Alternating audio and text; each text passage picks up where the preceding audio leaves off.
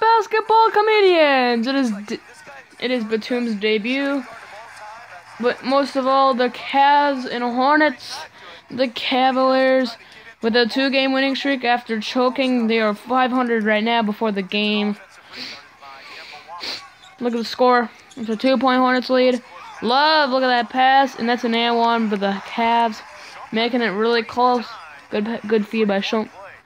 Heading to the second half, you already know, 67-63.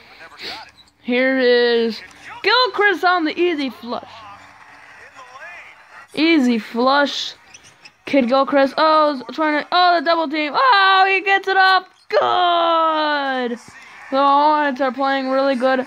Remember how the Hornets were up a lot to the Celtics, but they came back, so anything's possible. No. Oh, Kaminsky the and one.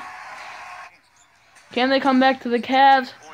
We'll see. LeBron, easy layup to Gilchrist. Gilchrist can't do anything. 103.95. LeBron's just going to the hole. Look at this. Making things look easy. On the road.